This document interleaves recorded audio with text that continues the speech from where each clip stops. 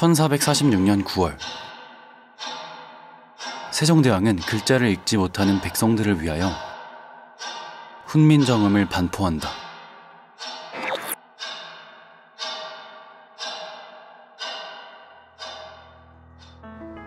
하층민이나 부녀자들이 쓸 익히기 쉬운 천한 글자.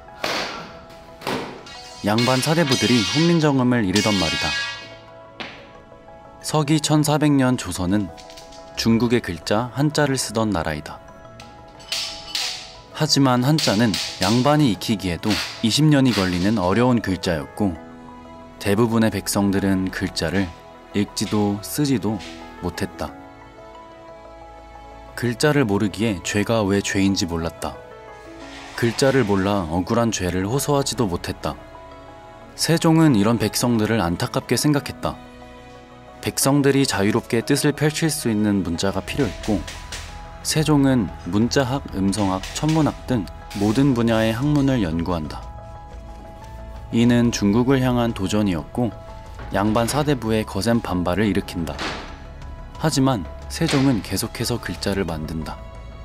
과로로 인해 눈까지 멀어버리면서. 그리고 1446년 28글자의 훈민정음이 반포된다.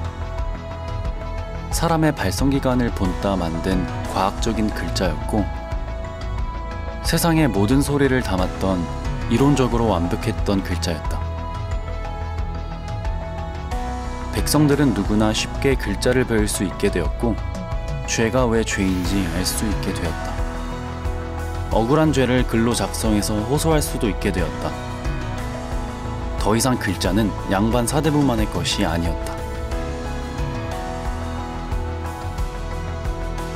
왕이 백성을 위해 만든 유일한 글자이며 외세의 침략에도 우리의 전통을 지킬 수 있게 했었던 글자이며 한민족의 정체성을 높이고 세계인에게 우리의 위상을 널리 알릴 수 있게 하는 글자였다.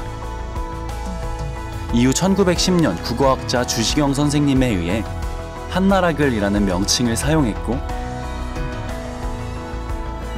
1913년 한글이라는 명칭을 처음으로 사용하게 된다.